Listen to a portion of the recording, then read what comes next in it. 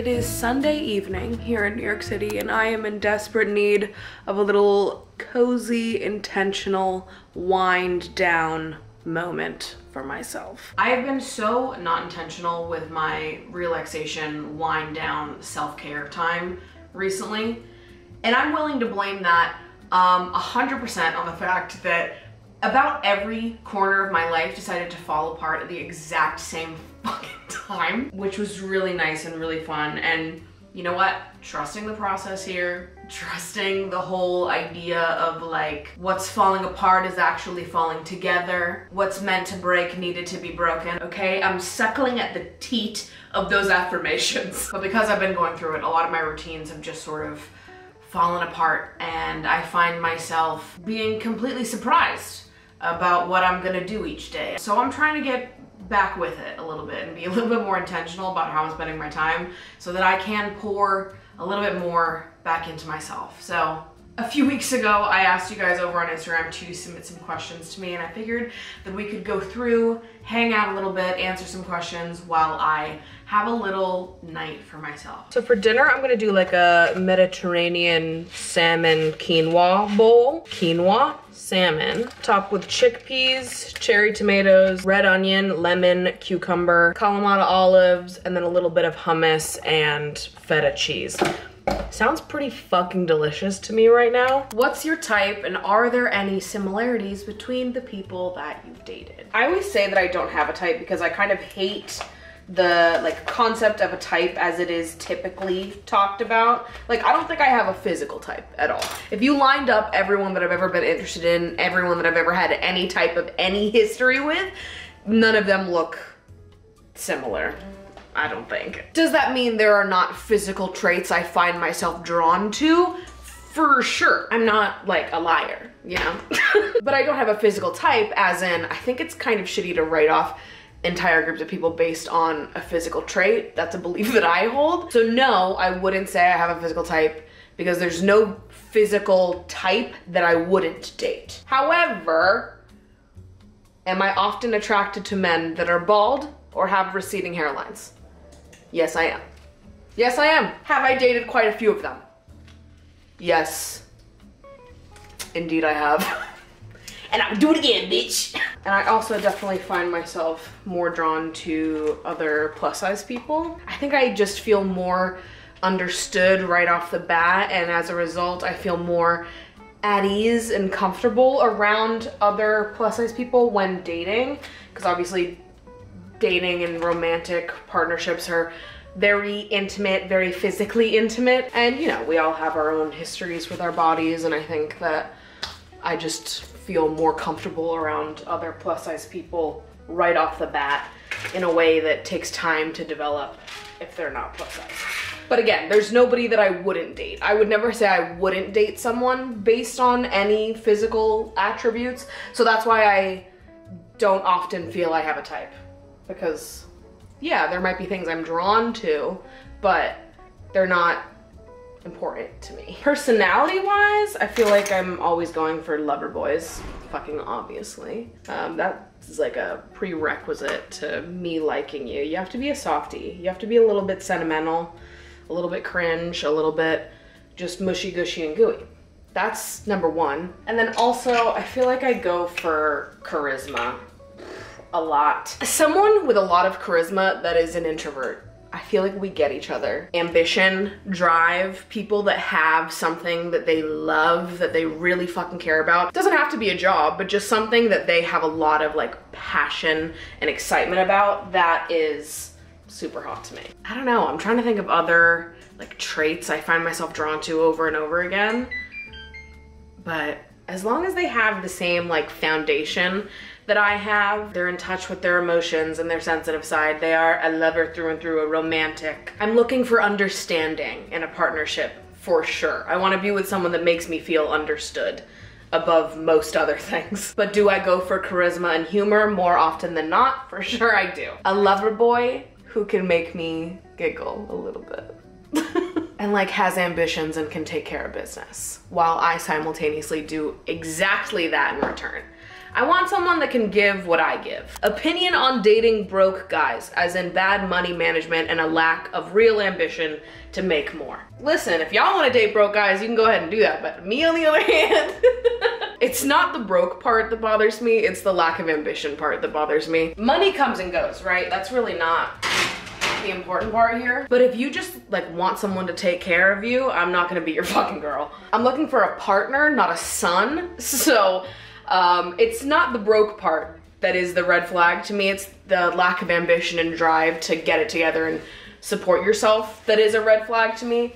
Yeah, I just won't, I'm not gonna be anyone's mother. I'm not gonna date someone that doesn't have a desire to contribute. What? My phone has never made that sound. That's my alarm to take my pills, but I've never heard it play that sound. What is going on? Set a timer for 15 minutes. And now I'm gonna take my pills so that I do not forget. I've started taking my vitamins at night just because I'm in a habit of taking my birth control and spironolactone at night. So it just makes sense for me to do it all in one go, all in one sweep so that I don't forget, which is nice because today's video is sponsored by Care of. Time you enjoy wasting was not wasted. If you've somehow never heard of them, Care of is a health and wellness company that delivers high quality personalized vitamins, supplements, and powders straight to your door every single month. I have been using Care of for my vitamins for years now. They come in these individual packages, very convenient, and they ship them to you in this cute little display box. So also very cute. All you have to do is take a short little quiz on their website to see what vitamins and supplements are going to be the most helpful for you and your routine. You can also substitute or add on vitamins that you're already on that your doctor has recommended you take. Add them all together and they'll ship them on over to you so you have them all in these cute little pouches. I personally take a vitamin B12, vitamin D, vitamin C, magnesium, omega-3 fish oil, and a probiotic blend. Like I said earlier, right now I'm absolutely in a phase where I have totally fallen out of routine with a lot of the best self-care habits that I have been in for a long time. I do accountability group with my friends once a month and this month, to start off the month, I was like, my goal, my theme for this month is BTB, baby. We're going back to basics. And that includes Maddie getting back on all of her routines and all the habits that make me feel the best and make my body feel good and alive and excited to do life every morning when I wake up. So if you're also struggling in your routines right now, don't worry, me too. but I'm just trying to get back into it one step at a time and starting with vitamins, remembering to take my pills, setting an alarm on my phone so that I don't forget to take them is a good first step for me. I'm happy that this is where I'm at right now. So if you guys are also interested in incorporating some vitamins into your life and trying out Care Of, you can go to takecareof.com and use code MaddieDrag50 for 50% off your first order, or you can just go ahead and click the link in the description down below. My salmon smells so good right now. I think it is about to be done in the oven, so I'm gonna go enjoy that and thank you again Of for sponsoring today's video. Let's go. This is one of those meals that became a staple to me when I was seeing my nutritionist whom I love and who changed my life so completely. I have had so many body image issues and so many issues with food throughout my life and a big like pillar of my conversations with her as far as like food goes was just talking about learning how to make meals more colorful. It really is amazing like how much better things feel, how much easier they sit in your body um, when you boil them down to like the terms you would use to describe it to a young child. It was the same thing with like me calling uh, exercise recess and how that made my brain more excited and less anxious about it all, less fearful about going to work out and sharing that space with other people, feeling super self-conscious and like other people were always looking at me, which actually is a great segue into another question that popped up in that box, which was just a question about gym culture and what I feel about it. And you have to find something that works for you, right? I don't like working out in a gym it's never gonna be my thing. My anxiety gets so much higher there. I feel so much more aware of my body and how other people might be perceiving me. I don't think that anybody has to go to the gym if you don't wanna go to the gym. There are so many different ways to bring in more joyful movement to your life. If the gym isn't the location for you, that's totally fine. It's not the location for me either. The truth is that like my relationship with my body, with movement, with exercise feels really personal. And it doesn't feel like something I want to explore around other people. Even if they're not watching me, it still feels like there's an audience there. And the truth is that like it's vulnerable unless it is creative movement, which is why I love dance so much because whoa, you can't let people know that this is a lawless land that we live in, Mango. Who says you're allowed up here? Who says you're allowed up here? Whatever. This is real, this is me. This is how we do it over here, the Dragsbaek household. Don't worry, I wipe down the fucking surfaces every day. But this is her house. I like, I just live here and pay all the bills, but like this is for sure her house. You should get down though. You should for sure get off the table. This is the difference between cat owners and dog owners. that is a kind of movement that I enjoy that doesn't even feel like exercise to me. I have so much fun when I'm doing it, I forget that I'm sweating. And because I'm having so much fun, I don't find myself as uh, like anxious about what other people must be thinking. Does that mean it never comes up? Absolutely not.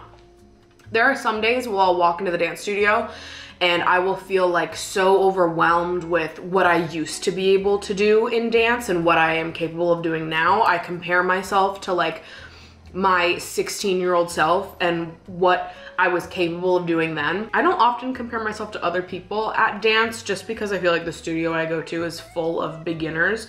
So it's not like there's anybody in my classes that's like light years more advanced than the rest of us. So I think that also helps when you're working out with a lot of people that are at a similar stage that you are. But I definitely find myself comparing myself to my past self. And when thoughts like that pop up, I try to just sort of step out of myself for a second and observe them and be like, okay, this is something that I'm feeling right now. This is something that's coming up for me. I am comparing myself to a much, much younger version of myself. And we're here today, feet planted firmly in reality. I'm 27 years old and I showed up here and I'm having fun and I'm moving my body for the joy and love of it all, okay? I'm not here to be the best dancer in the room. I'm here to fucking enjoy myself and move my body and show love to my body through dance, okay? So comparison doesn't have a spot here. So I'm gonna observe it, I'm gonna notice it, and then I'm gonna move past it and I'm gonna show up the way that I need to show up for my present self because I deserve that. And also I'm killing it now too, and there's just no reason for it. You know, in 10 years, I'm gonna look back at the version of myself that exists today and be like, ah, oh, she was fucking awesome. So I try my best to just remember and remind myself in the moment that I am fucking awesome today. And I don't need to be a version of myself that existed 10 years ago, 11 years ago. I need to be the version of myself that exists today. And honestly, I'm proud of myself for getting to the place I am now with my body and with food and the the efforts that I've taken to find what works for me. Because the truth is that a lot of like typical and popular food and wellness advice does not work for me. I'm someone that used to have terrible body image and an eating disorder. On top of the fact that I'm very critical of a lot of health culture because I think it's incredibly fat phobic. So the popular advice, what works for a lot of other people, is not gonna work for me and that's totally fine. So if you don't want to go to the gym, you don't have to go to the gym. I think it's better to find what works for you. What works for me is taking walks outside around my neighborhood and going to dance class. That's what makes me feel good. That's what makes my body feel good. Going to the gym just makes me feel anxious and overexposed and unsafe, to be fucking honest with you. So I don't go. And I don't think that you have to go if you don't want to go. There are plenty of other ways to move your body. Ooh, okay three top dinner party essentials. A bottle of Santa Margherita Pinot Grigio. That's my mom's favorite and it has become my favorite as well. Taper candles for the vibes. And last but certainly not least, a playlist full of romantic jazz music. You have those three things at a dinner party, it's gonna be good no matter what else goes on. if you could preserve one artifact for the Lover Girls Worldwide Museum, what would it be? I'm taking these questions from memory because clearly I don't have anything written in front of me, so I'm paraphrasing. I'm a very sentimental person, so I save a lot of things. And um, I have a movie ticket from my second date with the first guy I ever had like intense feelings for. I always hesitate to say I loved him because he was so cruel to me that I just I don't think of that as love because that is not how you treat people that you love. Now I think I had a lot of love in my heart for him, and I I, I find myself very sweet and endearing to look back on, even though he was so fucking cruel and so mean to me and literally never deserved an ounce of my sweetness. I hold on to those sentimental things not for him, but for me because it was me getting to discover that part of my heart and to feel what it feels like. And I've met people since that I liked 20,000 times more than I liked him that are better matches for me, kinder to me than he was. So now I look back on it all and I'm like, yeah, he was the worst, but I hang on to these little sentimental things, not for him, but for me. Because it was the first time I ever felt that way. And so, anyways, I have a movie stub from our second date. We went to go see The Breakfast Club at the IFC Center. Um, and I had sex for the first time with him almost immediately after this movie. I slept over his apartment, and then in the morning, we had sex. But this was a midnight movie, so I guess the the movie ticket probably says the day I had sex for the first time on it too, which is kind of special. But that to me is like an artifact that goes in the Lovergirls Museum. Found it. the Breakfast Club. 12.05 a.m. The IFC Center. 2-6-2016. This is a fucking relic, mama. This is going in the museum. Sleepy Girl Mocktails. Do I buy it? No. Do I love anything cute and a little gimmicky? Yeah, fucking obviously. Step one, take your favorite glass and put an absurdly large ice cube in it because it just feels fancier that way. Then you're supposed to take some tart cherry juice. I cannot find that, so instead I have cranberry juice. Urinary tract health. I care about it. Next, top it off with a little bit of cherry limeade poppy, my personal favorite flavor. And then at the very end, just when you think you're done, take a little slice of lime, squeeze it in there, drop it on top, boom. You're feeling fancy, you're feeling free. You have a cute little drink to help you wind down. Now I'll be honest, did I really need help winding down in the sleepy sense today or ever? No. I didn't. Some of you are gonna hate me for this, but it is a truth about me that I need to share with you. I am one of those sick, twisted people that can fall asleep in about 15 seconds flat. I never have a hard time falling asleep. In fact, I can do it so quickly it even shocks me. I close my eyes for too long and I'm asleep. So do I need a drink to trick me into thinking I'm getting more tired and winding down? No because the truth is that I can wind down whenever I need to wind down. But also, the trade-off here is that I'm someone that hates naps because naps make me feel nauseous. Anytime I've ever taken a nap in my life, unless it's been like gun to my head, my eyes are closing, it's an involuntary nap. If I've ever taken a voluntary nap, I wake up and feel nauseous until I get a full night's sleep. It's just my whole day is ruined if I take a nap. So that's the handoff that I have had to make. I am anti-nap. However, I can fall asleep for a full 10 hours whenever I need. what are you proud of lately? Something I have been proud of lately is my commitment to remaining true to who I am at my core. And I mean that in multiple ways. I mean it, yes, in a sense of like, I've really shown up for myself emotionally. I've been truthful to how I feel. I've shared everything that I felt. I've really worn my fucking heart on my sleeve and I continue to.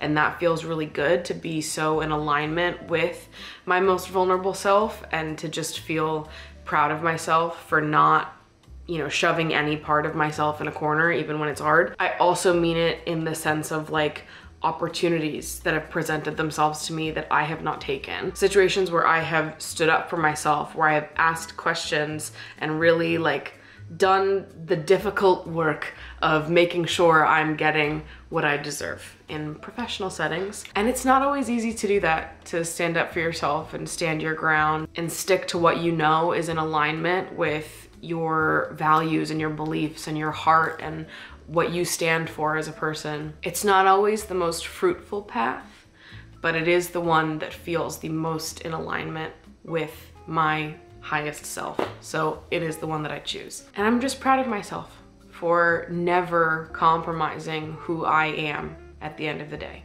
Not for someone else, not for money, not for success, not for nothing. What is your favorite cry on the subway song? This is a huge question. This is honestly like so fucking loaded. I can't even believe that you would ask me this. I'm kidding. But it's like there's so many answers. What is my, I don't know. I'm a yearner, okay? At the end of the day, I am a yearner. A song, there's so many songs that I could cry every time I listen to. Okay, first of all, Vanilla Twilight by Owl City. Shut the fuck up. It's a great song. When violet eyes get brighter and heavy wings grow lighter, I'll taste the sky and feel alive again, and I'll forget the world that I knew, but I swear I won't forget you. Oh, if my voice could reach back through the past, I'd whisper in your ear. Oh, darling, I wish you were here. Bars, bitch bars. That is a song that makes me cry. See, I'm not, I don't often get like, I want to listen to like depressing music sad. I'm like a melodramatic, yearning kind of sad. So when I feel sad and heartbroken and I need something to cry to, crying on the subway level, we gotta cry, I'm listening to like the Vanilla Twilights and the Only Exceptions of the world. You know what I mean? Like I want to listen to something that's like just feels like you're sitting there being like, ah, oh, fuck. Ah. Or we're turning it up a notch completely and we're listening to like Blackout Days by Phantogram.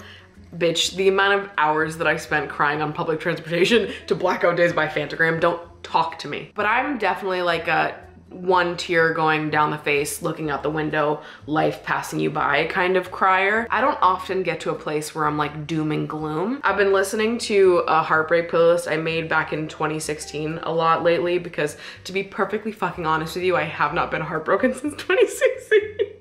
So we're going way back these days. Not that I haven't had my feelings hurt since 2016. Obviously, I've had my feelings hurt many times since 2016. I think I'm just realizing that like I haven't had strong feelings for someone in a very long time. So we've been going deep into the archives for my my playlists of choice these days. Let me, oh, okay. Don't make fun of me for this. I have cried to World of Chances by Demi Lovato more times than I know what to do with. The Harold song by Kesha yeah. Yeah. They say that true love hurts. Well, this could almost kill me. Young love murder. That is what this must be. Yeah. She was eating and devouring. Loud Places by Jamie XX. That's been a big one lately. But I'll be so fucking real with you. Even in the midst of heartbreak, I still only want to listen to love songs. So I've been listening to a lot of Baby I'ma Want You by Bread. the truth is that I'm just an optimist and I really do believe that whatever does happen is supposed to happen and whatever is meant to happen is gonna happen anyways. So there's no use getting too tied up in what's happening right now because we just don't know what's coming right around the corner. That's not to say I don't get sad. I cry most days of the week, mama. but I think I just process my sadness in a more like yearning towards the future kind of way. The melodrama, the yearning, the longing, the missing, but it's still happy and sweet. I don't often get like angry, I guess, like sad and angry.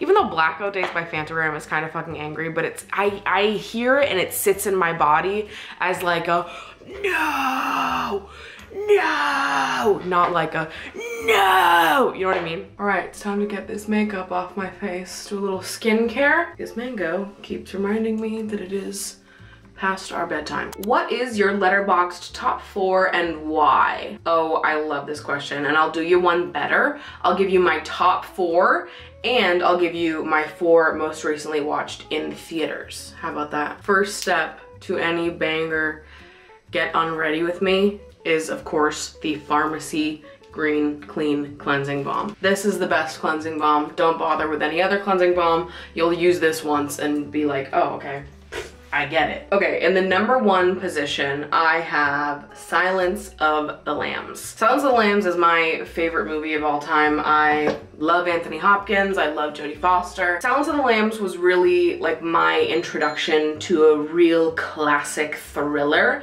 I didn't know that I loved that genre until I saw Silence of the Lambs. I've talked about it before on my podcast. When I was younger, I used to hate horror. And what I'm about to say is gonna sound a little sad, but I'll reassure you in saying that I've done a lot of processing in therapy with professionals about this. So I'm okay. Don't worry about me. But I hated horror when I was a kid. Was just so scared of everything. I need to take my rings off before I do this. What am I doing? And then I endured a traumatic event. I was at the Boston bombings in 2013 with my whole family. My mom had crossed the finish line like right before it happened. In the aftermath of experiencing that, I got really into the horror genre because I think it was a way for me to learn how to harness fear and control fear rather than having fear control me. I don't know, I just think that indulging in horror and thriller made me feel like I had more control over something that I had absolutely no control over whatsoever. I also didn't go to therapy for the first time until like halfway through college and I was a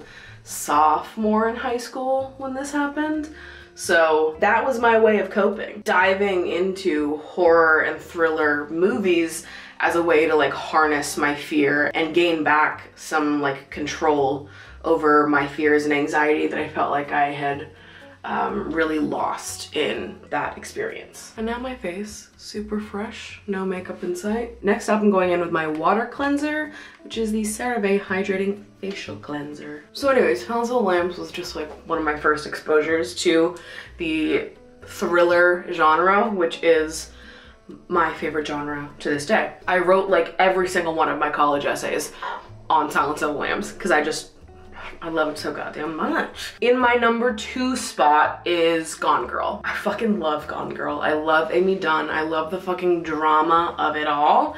It's everything to me. The Cool Girl monologue, I can recite it in my sleep. I also picked the Cool Girl monologue whenever I had to pick monologues for my acting classes in college. I could watch Gone Girl every day for the rest of my life and not get bored. That is how much I fucking love that movie. In my third spot, and I understand this is largely controversial, but it's my truth and I'm gonna live in it and I'm sorry some of you don't know how to have fun. Uh, it's Saltburn.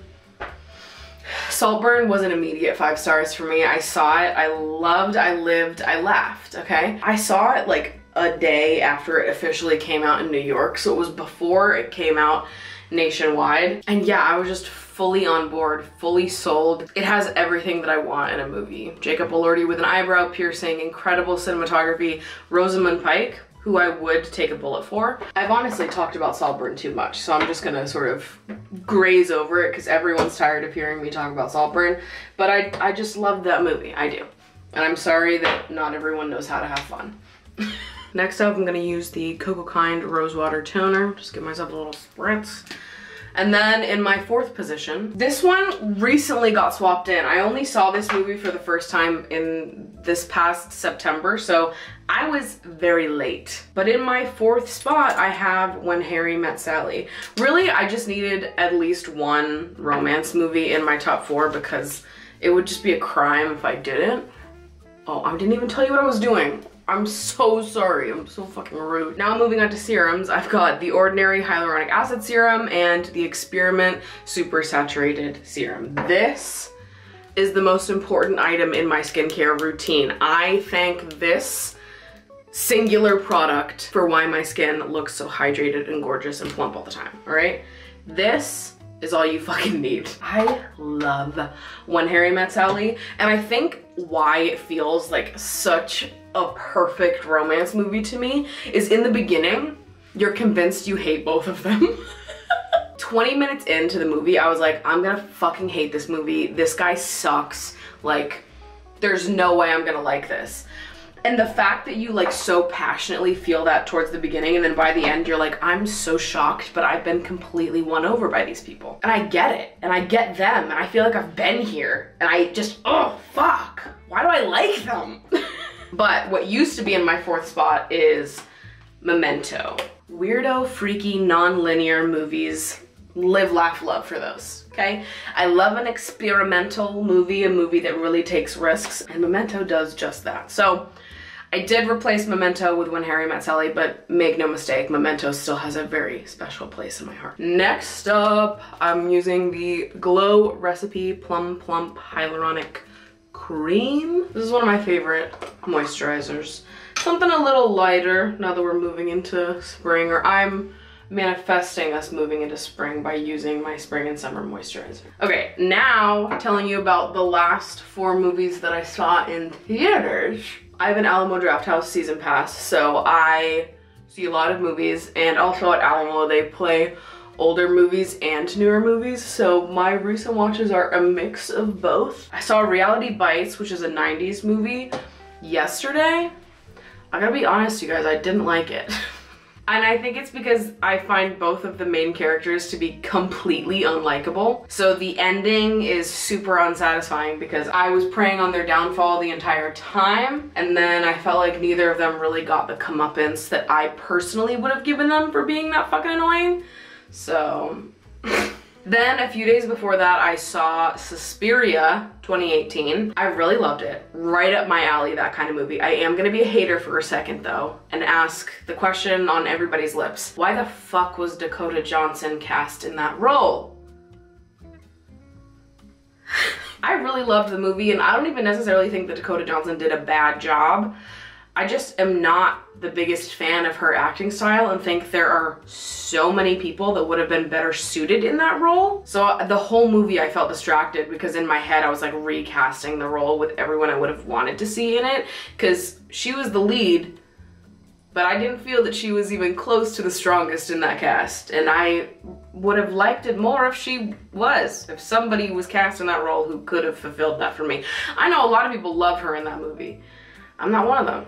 I did love the movie though, I gave it four stars. All right, next up, since I'm going to bed and I'm trying to be slimy, okay? I'm looking to be as wet as possible right now. I'm looking to be hydrated as fuck. So I'm going in with the Experiment Buffer Jelly. It's a barrier boosting oil gel and it just is gonna lock in all of this hydration. Then I saw Love Lies Bleeding gay Kristen Stewart movie, yeah, absolutely sign me the fuck up. It was incredible. I loved it. Four and a half stars. That movie made me audibly gasp. I was living, I was laughing, I was loving. And there was a man sat next to me in the theater who, first of all, he shouldn't have even been let in. but right after the movie, he turns to the person next to him and he was like, it was all right. I thought I took some liberties that I probably shouldn't have taken. I was like, shut up. This isn't for you. Did you not get that? This was for the gays, okay? Did you not get that? Did you not soak that one in? Did you not realize that this was for lesbians and bisexuals? Shut up. You shut up. Last but not least, I'm going in with my Laneige sleeping mask. And then before that, I saw Problemista, which I ate the fuck up. I also gave that a four and a half stars. Ridiculously funny. I was laughing out loud for so much of that movie. Tilda Swinton deserves everything good that happens during this lifetime, and I mean that sincerely, sweetie. Sincerely. This camera is crazy. How did you discover your love languages? I mean, the thing about love languages is that, like, we all speak all of them. It's not like there are some love languages that people are like, no, I'm a quality time person. Never ever give me words of affirmation. Like, obviously, they're all great, but you have ones that you lean towards. I don't know. I think I find myself switching up, moving through what my love languages are, dependent on the person, the era, the specific relationship. Quality time has long been my number one with acts of service following that up pretty closely. But I think gifts is climbing the charts for me the older that I get. And I think that gifts gets a bad rap because people equate gifts to money, but that's not true. You can get a bouquet of flowers that you picked from the garden yourself and attach a little note on a string to it, which I guess is words of affirmation, but a note to me is also a gift. A written note, that's words of affirmation and a gift combined. But there's just something so special about someone seeing you and remembering something about you and then getting a gift for you, personalized, because they were thinking of you. But the reason why I say that my love languages change situationally is because I really believe that's true. Like, for example, in recent memory, this is something that stuck with me, but a few months ago, I had a corrupted audio file the the dreaded thing to occur to anyone that creates content. I was so upset about losing this episode. It was just like yeah, it ruined my whole day. I was so upset about it. And I was seeing my friends later that night. And obviously, this is a corrupted memory card, corrupted file. There's nothing anyone can do about it. There's no active service that can be done. There was nothing that anyone could say to make me feel better. But when I showed up to trivia that night, my friend Jordan had brought me a slice of cheesecake. And in that moment, that was exactly what I needed. There was nothing to say, there was nothing to do. I was sad and I was frustrated, and my friend brought me a dessert that she knows that I love. And that made me feel so warm in that moment. It made me feel so thought of and remembered. Jordan knew I was having a bad day, and she went out and she got me something that she knew was going to cheer me up. She thought of me, she remembered something about me, and she did this thing to make me feel better, to show that she cared. That was so meaningful to me and it's something I'll remember forever. But I thought that was such a clear example of when like my typical love languages maybe weren't the go-to. In that moment, a gift was the thing that was to work the best to make me feel better. And obviously quality time, spending time with the people that I love, that's really quality time is unbeatable to me because that is always there's never a situation where quality time is a bad thing. I think quality time is just like 100% always the fucking best. And then like acts of service, words of affirmation, gifts feel like very tied for me. And then physical touch is actually at the bottom for me. Not that I don't love physical touch or need physical touch. Obviously I fucking do. But of all of them, physical touch is definitely the thing I think about the least. And I think that's probably because the range of importance of physical touch really varies depending on relationship. Every single close relationship in my life, I want to be spending quality time with. I want to be having the words of affirmation exchanged, acts of service, gifts. Like, I want all of those things with everyone in my life. Physical touch for me though is very much reserved for the people that I am the closest with. I'm not someone that likes to engage in physical touch with everyone in my life, even if it's just a hug. I am doing it more as like a social thing and not as like a, I really need a hug this person even though they're not in like my closest inner circle. Like physical touch only feels important to me with like select people. Otherwise, I don't need to be touching all these people. No, I don't, I don't need people's hands on me. I don't, I really don't. So I don't know, all of them are important, but I think if you just pay attention to yourself and what you gravitate towards, you'll be able to figure out which ones are most important to you usually. But really, I think love languages are more helpful when you accept that like they all are going to apply in different circumstances. Oh, whoa, I think the Sleepy Girl mocktail's working. Me and my little princess baby over here need to go to bed. Oh, I'm so excited to go to bed. I'm gonna have a wonderful night's sleep. And I'm gonna wake up in the morning, make myself a little coffee, and go get a bagel from Bake Shop. Ah, it's gonna be so